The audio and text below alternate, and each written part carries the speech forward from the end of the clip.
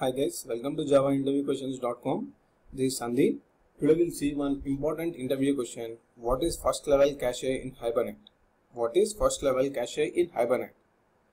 So coming to the first level cache, it is also known as session cache.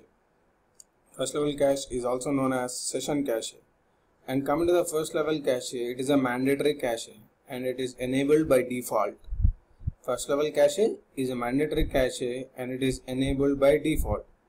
So all the requests must pass through this first level cache or mandatory cache or session cache.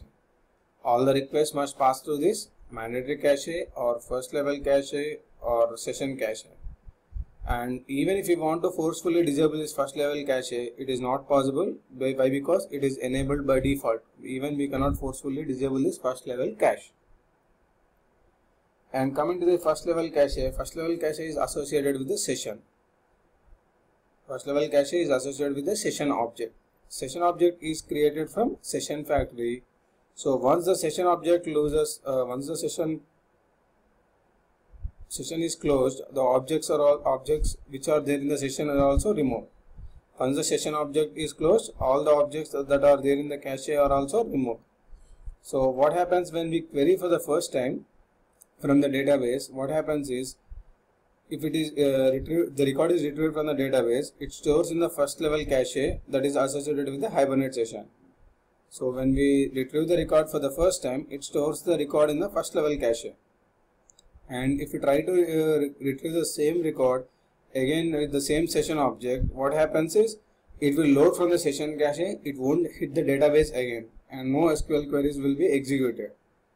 So and if you want to remove any object from session we can use the evict method.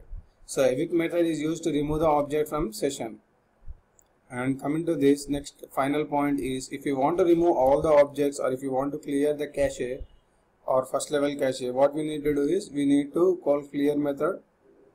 We need to call clear method on the session which will remove all the entities or objects stored in the cache so these are very important points uh, related to first level caching and it is one of the most important interview question as for Java developers on Hibernate for 0 to 5 years of experience.